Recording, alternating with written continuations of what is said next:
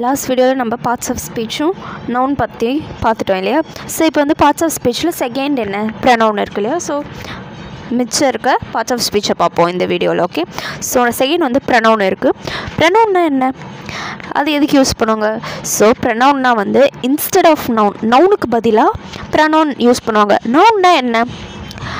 Name place திங்ஸுக்கு தானே நவுன்னு சொல்லி சொல்லியிருந்தேன்.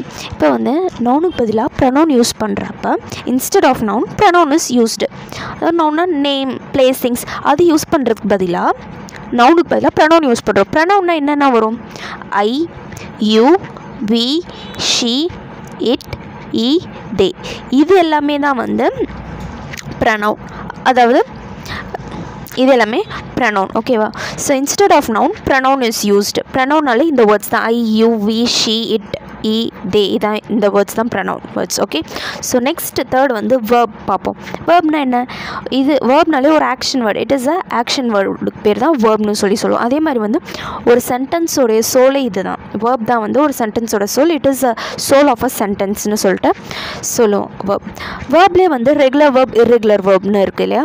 ஸோ ரெகுலர் வேர்ப்னா எப்படின்னா இப்போ வந்து புட் புட் புட்னு வருது இல்லையா? மூணு இடத்துலையுமே. ஸோ அதுக்கு பேர் வந்து regular verb இரெகுலர்னால் eat eaten ate so change ஆகுது இல்லையா இது வந்து இரெகுலர் வேர்ப்னு வரும்.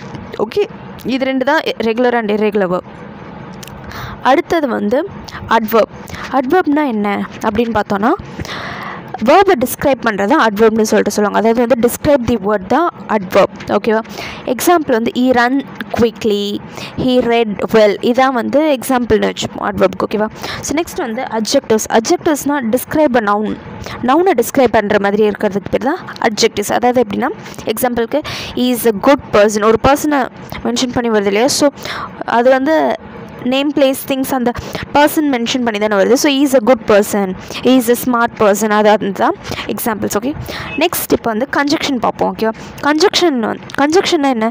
It is a connecting word so அந்த வேர்ட் வந்து கனெக்ட் பண் பண்ணுற மாதிரி இருக்கணும். இப்போ எப்படின்னா is a good person and எட்டு பட் இந்த மாதிரி வருதுல்ல இந்த மாதிரி வேர்ட்ஸ் வந்து நம்ம அது கூட கனெக்ட் பண்ணிக்கலாம். Is a good person and is very smart and he looks very smart so அந்த அண்ட் வந்து ரெண்டு சென்டென்ஸ்க்கும் நடுவில் நம்ம கனெக்ட் பண்ணுறோம் ஓகே ஸோ இதுதான் வந்து கன்ஜெக்ஷன் நெக்ஸ்ட் வந்து ப்ரிப்போசிஷன் ப்ரிப்போசிஷன் என்ன? It is a linking word ஒரு வேர்டை வந்து லிங்க் பண்ணுறதுக்கு வந்து ப்ரிப்போசிஷன் யூஸ் ஆகும். எக்ஸாம்பிள் எப்படி சொல்லணும் I made a cup of coffee ஆஃப்ன்றது வந்து அந்த இடத்துல லிங்க் பண்ணிக்கலாம். அந்த வேர்டை வந்து நம்ம லிங்க் பண்ணிக்கிற வேர்டு ஓகேவா so the note the notice on the table அதாவது வந்து ஒரு இடத்துல மேலே இருக்குது அப்படின்னு சொல்லிட்டு தி க the May I made a cup of coffee the notice on the table of on இந்த மாதிரி வர்றது வந்து லிங்கிங் வேர்டு அப்படின்னு சொல்கிறோம் ஓகே அப்படின்னு சொல்கிறாங்க ஓகேவா நெக்ஸ்ட் வந்து